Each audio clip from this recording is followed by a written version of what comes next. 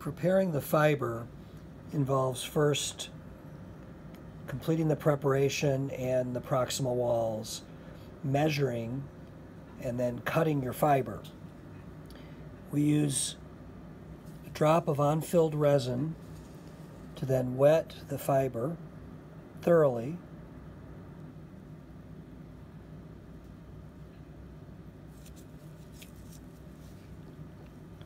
And then we take our chosen composite. I use Voco Grandioso and I put a ribbon of composite out.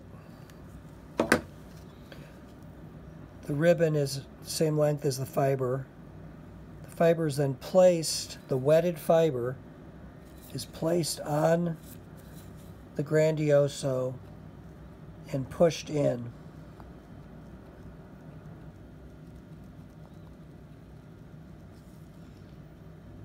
Excess is removed. I dab it with my finger, just, just a touch, gloved finger. And then we peel the fiber with the composite off the pad and it's ready to place in the tooth.